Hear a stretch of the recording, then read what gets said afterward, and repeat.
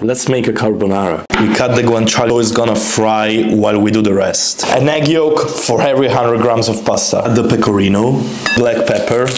Mix, mix, mix. We're gonna use rigatoni, cooking water to make your carbonara creamy.